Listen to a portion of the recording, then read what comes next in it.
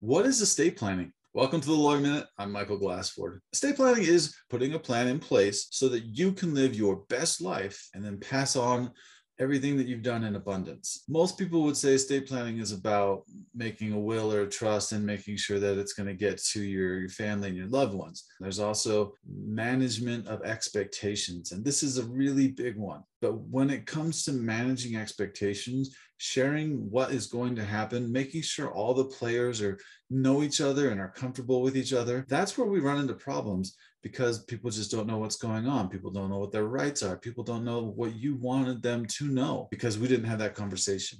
So when you do your estate planning, it's important to not only do it correctly, but also make sure that everyone's involved to some degree. This has been another Lawyer Minute with Michael Glassford. Do you enjoy these videos? Please like, follow, comment, or subscribe. And for more information, visit legallifeplan.com.